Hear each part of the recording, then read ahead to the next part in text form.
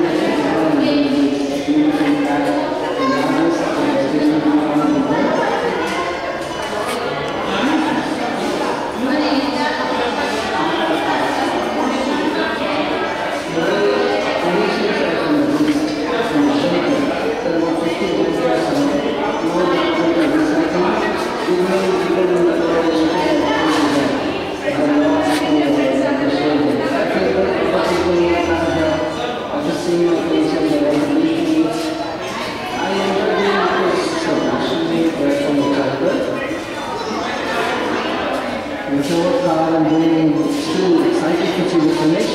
But that excitement is still there.